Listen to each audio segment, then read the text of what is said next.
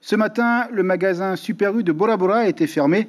Il était 8h30, une décision du bureau de la veille sanitaire. Un des personnels a été touché par le virus de la Covid-19. L'évacuation s'est déroulée dans la sérénité et le calme. La surface commerciale va être totalement désinfectée. Nous écoutons une employée du magasin. Nous avons ouvert ce matin comme d'habitude à 5h30 et on a reçu l'appel entre temps et 8h30 on était fermé. On a fait sortir les clients qui nous restaient à l'intérieur et voilà, on a commencé à faire le test ici même au magasin avec nos employés présents. Nous avons des cas positifs, des cas négatifs, mais on a tous été mis en isolement afin de protéger nos familles, afin de protéger plus de personnes.